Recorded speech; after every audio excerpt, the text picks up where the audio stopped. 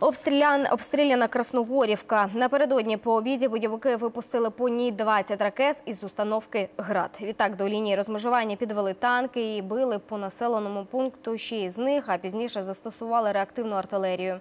У Генштабі підрахували за минулу добу по позиціях українських армійців біля Красногорівки, крім «Градів», випустили понад 25 танкових та більше 130 снарядів з мінометів.